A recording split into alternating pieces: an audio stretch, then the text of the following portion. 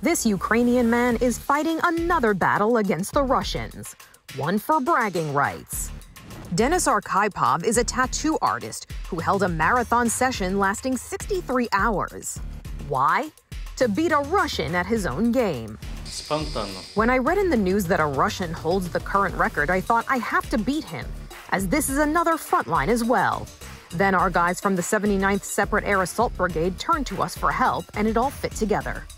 The event also served as a fundraiser for the country's military, which has been fighting the invading Russian military for almost a year now. The record to beat was 61 hours, which means Arkhypov had to not only stay awake, but perform his craft for more than two days straight. The hardest part was at 4 to 5 a.m. during the first day. After this, we found a second, third, fourth wind. We got used to it. He even streamed the session on TikTok for good measure and only took one five minute break per hour for eating and rest. When it was all over, he was proud to claim this title for his country. He also plans to submit an application to Guinness World Records for the longest tattoo session, which is currently held by an Italian man who tattooed for 61 hours 37 minutes.